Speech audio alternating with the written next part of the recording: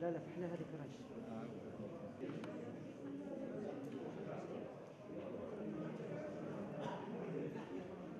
يتم التصويت من طرف كتلة ناخبة تتكون كما تعلمون من المنتخبين في المجلس الشعبي الولائي لولاية الجزائر مجموع المنتخبين وعددهم 55 منتخبا ومجموع المنتخبين في المجالس الشعبية البلدية السبعة وخمسين التابعة للدائرة الانتخابية لولاية الجزائر وعددهم الإجمالي 199 فيما يجعل عدد الكتلة الناخبة الكلي هو 1254 ناخب. هي استكمال لبناء دولة المؤسسات آه لو تحبني نقول لك تسيير العملية الانتخابية؟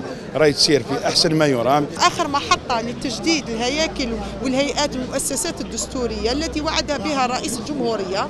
أنا نشوف أن العملية تمت ابتداء من الساعة الثامنة بكل باحترام الإجراءات القانونية والوقائية الصحية.